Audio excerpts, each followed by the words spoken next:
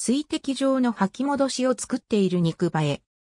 肉バエは非常に水分の多いところに生息しているため、吐き戻しにより水分を蒸発させ、栄養分の濃度を上げていると考えられている。吐き戻しとは、口、喉、食道などから体外へ排出されたもので、特に未消化のものを含むものを指す。多くの動物において、毒物を摂取した際に、それを排出する反応として、いくつかの反応が複合して生じるオート反射が見られるが、吐き戻しは、それとは別に随意的にも行われる。動物においては、多くの種で、子に対する給仕行動として観察される。これは特に餌をそのまま巣に運ぶと大きな動物に狙われやすい場合、あるいは餌としているものが巣に運ぶには大きすぎるような場合に、巣にいる子に食料を運ぶために取られる行動であり、犬科に多く見られる。また消化の一過程としての吐き戻しは半数と呼ばれ、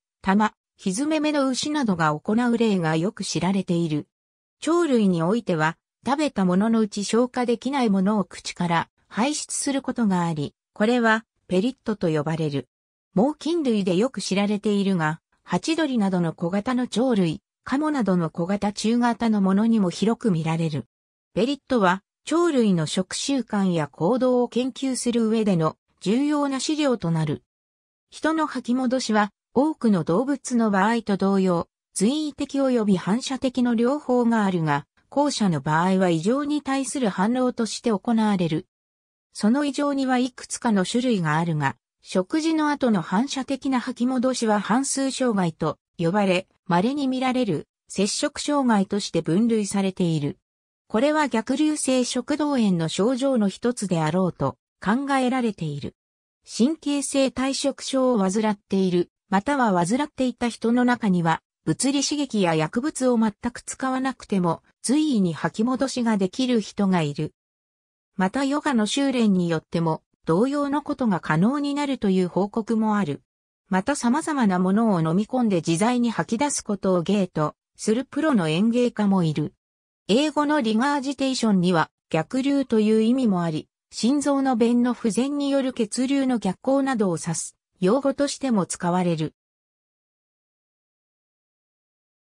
ネルソン、RW&CEG、カウト、スモールアニマルインターナルメディシン、ホースエイド、2009、キーリング、リンダ K5 尿、ハロルド W、ソーシャルビヘイビアインファームアニマルズ、コビーパブリッシング、P69、ISBN 0から85199394、ルン、ライル、ルン、ハリーン、バーズ、ザインサイドストーリー、ストルーックパブリッシャーズ P183 ISBN 1から7700715122ルミナチオンシンドローム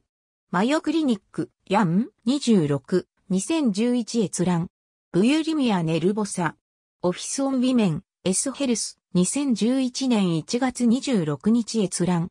チャリ、CTK、リガージテーション、ミディアムシップヨガ、ジャーナル・オブ・ザ・ソサエティ・フォー・フィジカル・リサーチ。47、757、156、スティービー・スター、プロフェッショナル・ラガージェテイター。ザ・ミュージアム・オブ・ホーキシス。2011年1月26日、閲覧。